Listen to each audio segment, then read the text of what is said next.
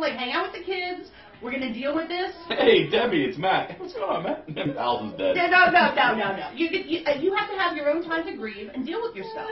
And then when you're ready, then you can do something. I'm announce it six months later. No, no, no. Everyone will know I'm dead, but you know you don't need to. You oh, don't need what to I'll do is I'll invite everyone to the new wedding of my new wife. Yes, and then be like, And then, by the oh, way, no, no, no, it's all good. Allison's dead. Just you know, but I, I don't see why everybody's got to be like you know getting outfits and having a luncheon. Well, now we're gonna buy an outfit. Yeah, we're gonna buy an outfit. You have to have a luncheon, too. We're gonna have a funeral. You gotta have an outfit. Everyone's gonna. I had a fit that I had to wear jeans tonight. yeah, you're I'm gonna go to Fulton and get one of those hats. Yes, you gotta get an outfit. The kids would have to get suits. You think gotta get a limo. You gotta Toby, get we gotta go buy you a suit When?